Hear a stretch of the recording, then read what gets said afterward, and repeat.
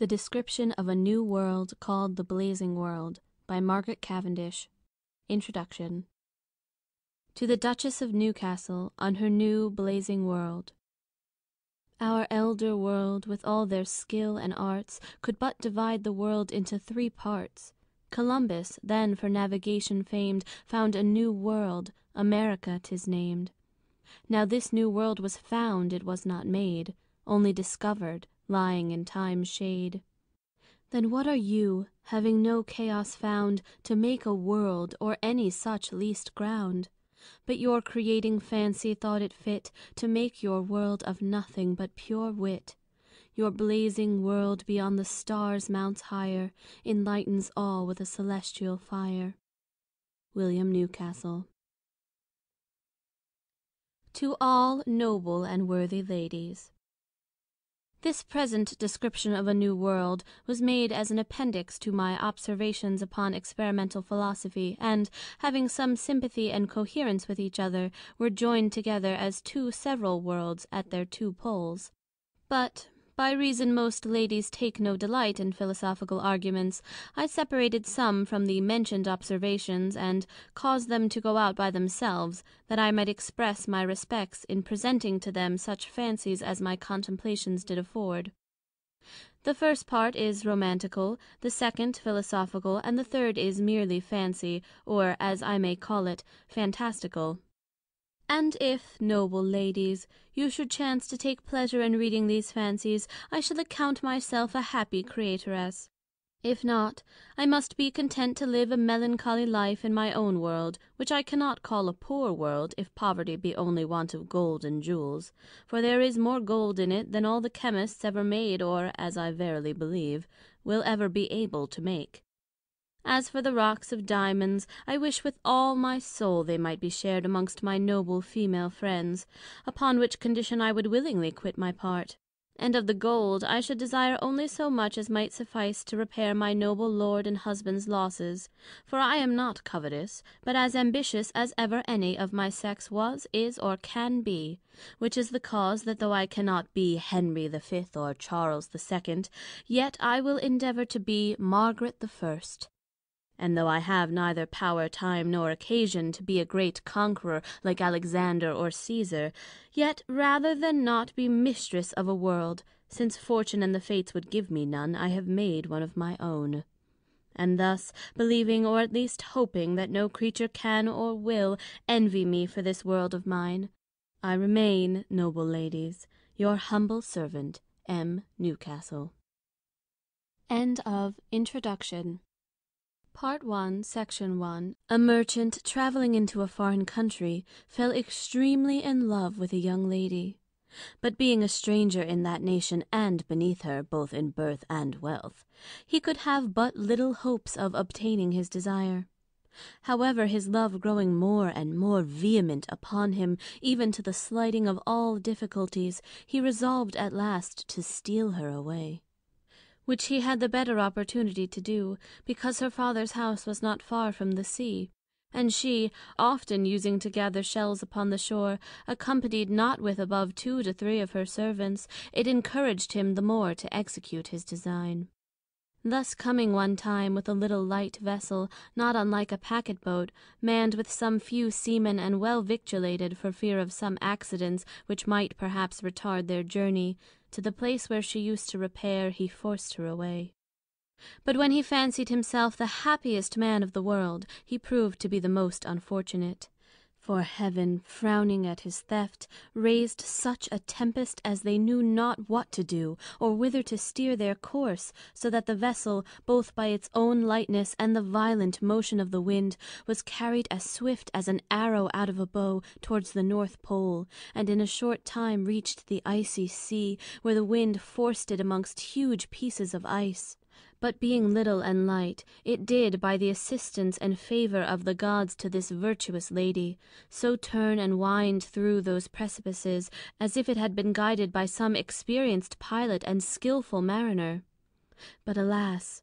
those few men which were in it, not knowing whither they went, nor what was to be done in so strange an adventure, and not being provided for so cold a voyage, were all frozen to death. The young lady only, by the light of her beauty, the heat of her youth, and protection of the gods, remaining alive. Neither was it a wonder that the men did freeze to death, for they were not only driven to the very end or point of the pole of that world, but even to another pole of another world, which joined close to it so that the cold, having a double strength at the conjunction of those two poles, was insupportable. At last the boat, still passing on, was forced into another world.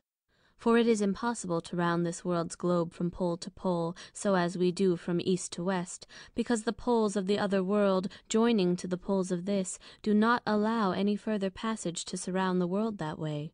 But if any one arrives to either of these poles, he is forced to return or to enter into another world, and lest you should scruple at it and think, if it were thus those that live at the poles would either see two suns at one time, or else they would never want the sun's light for six months together as it is commonly believed, you must know, that each of these worlds having its own sun to enlighten it, they move each one in their peculiar circles, which motion is so just and exact, that neither can hinder or obstruct the other, for they do not exceed their Tropicks, and although they should meet, yet we in this world cannot so well perceive them, by reason of the brightness of our Sun, which being nearer to us, obstructs the splendor of the Sun of the other world, they being too far off to be discerned by our optic perception, except we use very good telescopes by which skilful astronomers have often observed two or three suns at once.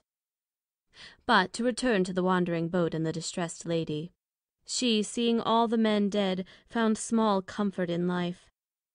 Their bodies, which were preserved all that while from putrefaction and stench by the extremity of cold, began now to thaw and corrupt whereupon she, having not strength enough to fling them overboard, was forced to remove out of her small cabin upon the deck to avoid the nauseous smell. And finding the boat swim between two plains of ice, as a stream that runs betwixt two shores, at last perceived land, but covered all with snow, from which came walking upon the ice strange creatures, in shape like bears, only they went upright as men, those creatures coming near the boat catched hold of it with their paws that served them instead of hands. Some two or three of them entered first, and when they came out, the rest went in one after another. At last, having viewed and observed all that was in the boat, they spake to each other in a language which the lady did not understand, and having carried her out of the boat, sunk it, together with the dead men. The lady, now finding herself in so strange a place, and amongst such wonderful kind of creatures, was extremely strucken with fear, and could entertain no other thoughts, but that every moment her life was to be a sacrifice to their cruelty. But those bear-like creatures, how terrible soever they appeared to her sight, yet were they so far from exercising any cruelty upon her, that rather they shewed her all civility and kindness imaginable for she being not able to go upon the ice by reason of its slipperiness, they took her up in their rough arms, and carried her into their city, where instead of houses, they had caves under ground. And as soon as they entered the city, both males and females, young and old, flocked together to see this lady, holding up their paws in admiration. At last, having brought her into a certain large and spacious cave, which they intended for her reception, they left her to the custody of the females, who entertained her with all kindness and respect, and gave her such victuals as they used to eat. But seeing her constitution neither agreed with the temper of that climate, nor their diet, they were resolved to carry her into another Island of a warmer temper, in which were men like Foxes, only walking in an upright shape, who received their neighbours the Bear men with great civility and courtship, very much admiring this beauteous Lady, and having discoursed some while together, agreed at last to make her a present to the Emperor of their world. To which end, after she had made some short stay in the same place, they brought her cross that Island to a large River, whose stream runs smooth and clear like Crystal in which were numerous boats, much like our Fox traps, in one whereof she was carried, some of the Bear and Fox men waiting on her. And as soon as they had crossed the river, they came into an island where there were men which had heads, beaks, and feathers like wild geese, only they went in an upright shape like the bear men and fox men. Their rumps they carried between their legs, Their wings were of the same length with their bodies, and their tails of an indifferent size, trailing after them like a Lady's Garment. And after the Bear and Fox men had declared their intention and design to their Neighbours, the Geese or Bird men, some of them joined to the rest, and attended the Lady through that Island, till they came to another great and large River, where there was a preparation made of many Boats, much like Birds nests, only of a bigger size, and having crossed that River, they arrived into another Island, which was of a pleasant and mild temper, full of Woods, and the Inhabitants thereof were Satyrs, who received both the Fox, Bear, and Bird men, with all respect and civility.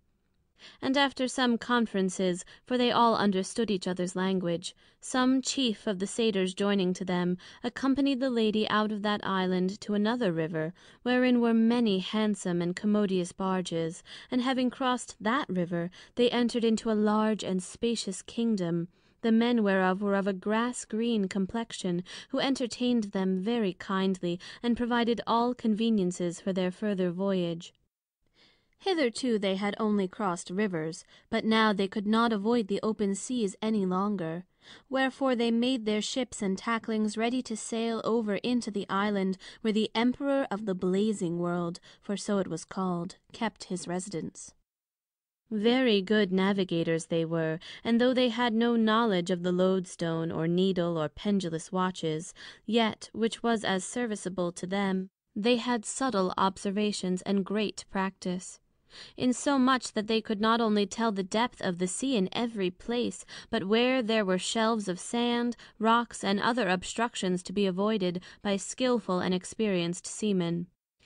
Besides, they were excellent Augurers, which skill they counted more necessary and beneficial than the use of compasses, cards, watches, and the like. But, above the rest, they had an extraordinary art, much to be taken notice of by experimental philosophers, and that was a certain engine, which would draw in a great quantity of air, and shoot forth wind with a great force. This engine in a calm they placed behind their ships, and in a storm before. For it served against the raging waves, like cannons against a hostile army or a besieged town.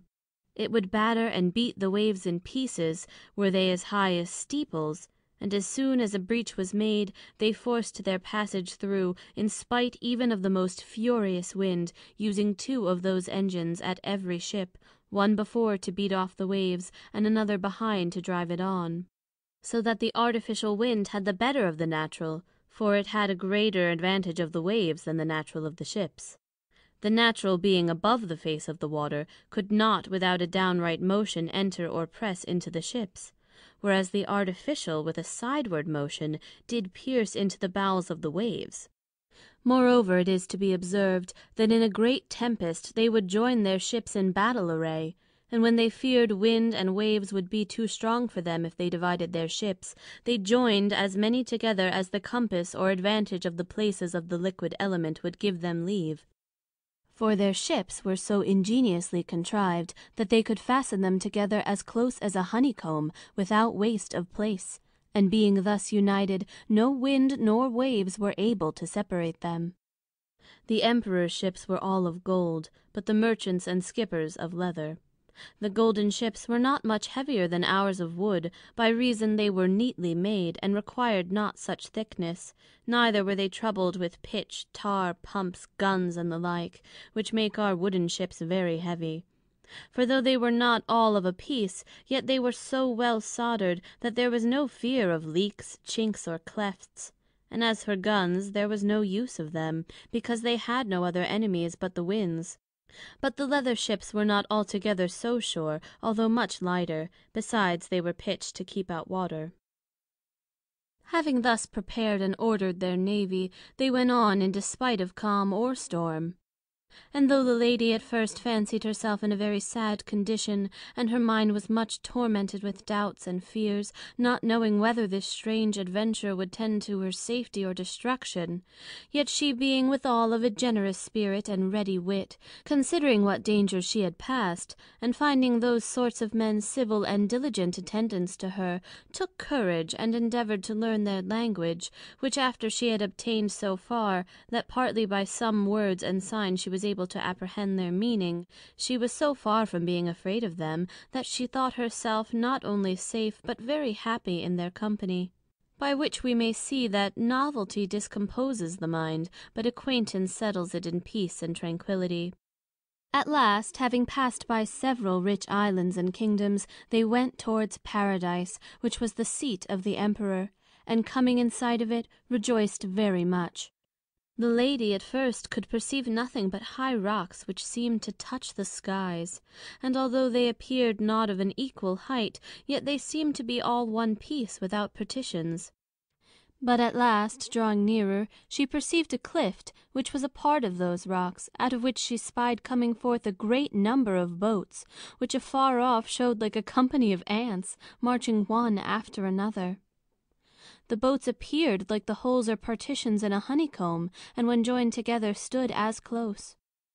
The men were of several complexions, but none like any of our world. And when the boats and ships met, they saluted and spake to each other very courteously;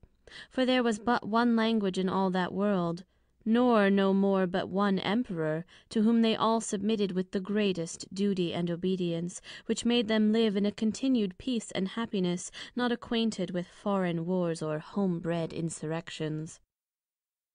The Lady now being arrived at this place, was carried out of her ship into one of those boats, and conveyed through the same passage, for there was no other, into that part of the world where the Emperor did reside, which part was very pleasant and of a mild temper.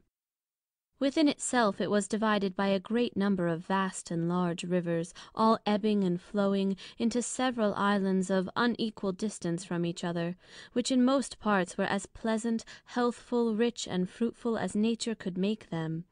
and, as I mentioned before, secure from all foreign invasions, by reason there was but one way to enter, and that like a Labyrinth, so winding and turning among the rocks, that no other vessels but small boats could pass, carrying not above three passengers at a time. On each side, all along the narrow and winding river, there were several cities, some of marble, some of alabaster, some of agate, some of amber, some of coral, and some of other precious materials not known in our world. All which, after the Lady had passed, she came to the Imperial City, named Paradise, which appeared in form like several Islands, for Rivers did run betwixt every street, which together with the Bridges, whereof there were a great number, were all paved. The City itself was built of Gold, and their Architectures were noble, stately, and magnificent, not like our modern, but like those in the Romans time. For our modern buildings are like those houses which children use to make of cards, one story above another, fitter for birds than men. But theirs were more large and broad than high. The highest of them did not exceed two stories, besides those rooms that were underground as cellars and other offices. The Emperor's palace stood upon an indifferent ascent from the imperial city, at the top of which ascent was a broad arch, supported by several pillars which went round the palace, and contained four of our English miles in compass. Within the arch stood the Emperor's guard, which consisted of several sorts of men. At every half mile was a gate to enter, and every gate was of a different fashion. The first, which allowed a passage from the Imperial City into the Palace, had on either hand a Cloyster, the outward part whereof stood upon arches sustained by pillars, but the inner part was close. Being entered through the gate, the Palace itself appeared in its middle like the aisle of a church, a mile and a half long, and half a mile broad. The roof of it was all arched and rested upon pillars so artificially placed that a stranger would lose himself therein without a guide. At the extreme sides, that is between the outward and inward part of the cloister, were lodgings for attendants, and in the midst of the palace, the Emperor's own rooms, whose lights were placed at the top of every one because of the heat of the sun. The Emperor's apartment for state was no more enclosed than the rest, only an imperial throne was in every apartment, of which the several adornments could not be perceived until one entered, because the pillars were so just opposite to one another, that all the adornments could not be seen at one. The first part of the palace was, as the imperial city, all of gold. And when it came to the Emperor's apartment, It was so rich with diamonds, pearls, rubies, and the like precious stones, that it surpasses my skill to enumerate them all. Amongst the rest, the imperial room of state appeared most magnificent. It was paved with green diamonds, for there are in that world diamonds of all colours, so artificially as it seemed but of one piece. The pillars were set with diamonds so close and in such a manner that they appeared most glorious to the sight. Between every pillar was a bow or arch of a certain sort of diamonds, the like whereof our world does not afford which being placed in every one of the arches in several rows, seemed just like so many rainbows of several different colours. The roof of the arches was of blue diamonds, and in the midst thereof was a carbuncle which represented the sun, and the rising and setting sun at the east and west side of the room were made of rubies. Out of this room there was a passage into the Emperor's bedchamber, the walls whereof were of jet, and the floor of black marble. The roof was of mother of pearl, where the moon and blazing stars were represented by white diamonds, and his bed was made of diamonds and carbuncles. No sooner was the lady brought before the emperor, but he conceived her to be some goddess, and offered to worship her, which she refused, telling him, for by that time she had pretty well learned their language, that although she came out of another world, yet was she but a mortal. At which the Emperor rejoicing made her his wife, and gave her an absolute power to rule and govern all that world as she pleased. But her subjects, who could hardly be persuaded to believe her mortal, tendered her all the veneration and worship due to a deity. Her accoutrement after she was made Empress was as followeth. On her head she wore a cap of pearl, and a half moon of diamonds just before it. On the top of her crown came spreading over a broad carbuncle cut in the form of the sun. Her coat was of pearl mixed with blue diamonds, and fringed with red ones. Her buskins and sandals were of green diamonds. In her left hand she held a buckler, to signify the defence of her dominions, which buckler was made of that sort of diamond as has several different colours, and being cut and made in the form of an arch, showed like a rainbow. In her right hand she carried a spear made of white diamond, cut like the tail of a blazing star, which signified that she was ready to assault those that proved her enemies. None was allowed to use or wear gold but those of the imperial race, which were the only nobles of the state, nor durst any one wear jewels but the emperor, the empress, and their eldest son. Notwithstanding that, they had an infinite quantity both of gold and precious stones in that world for they had larger extents of gold than our Arabian sands. Their precious stones were rocks, and their diamonds of several colours. They used no coin, but all their traffic was by exchange of several commodities. Their priests and governors were princes of the imperial blood, and made eunuchs for that purpose. And as for the ordinary sort of man in that part of the world where the emperor resided, they were of several complexions, not white, black, tawny, olive, or ash coloured, but some appeared of an azure, some of a deep purple, some of a grass green, some of a scarlet, some of an orange colour, etc which colours and complexions, whether they were made by the bare reflection of light, without the assistance of small particles, or by the help of well ranged and ordered atoms, or by a continual agitation of little globules, or by some pressing and reacting motion, I am not able to determine. The rest of the inhabitants of that world were men of several different sorts, shapes, figures, dispositions, and humours, as I have already made mention heretofore. Some were bear men, some worm men, some fish or mere men, otherwise called sirens, some bird men, some fish men, some ant men, some geese men, some spider men, some lice men, some fox men, some ape men, some jackdaw men, some magpie men, some parrot men, some satyrs, some giants, and many more, which I cannot all remember.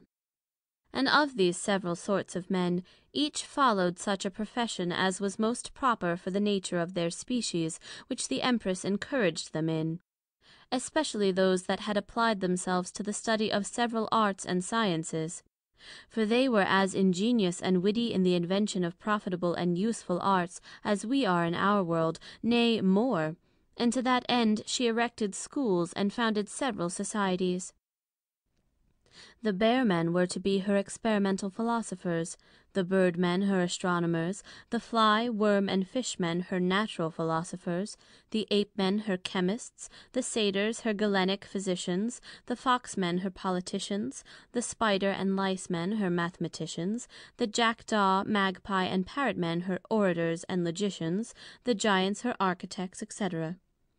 But before all things, she, having got a sovereign power from the Emperor over all the world, desired to be informed both of the manner of their Religion and Government; and to that end she called the Priests and Statesmen to give her an account of either.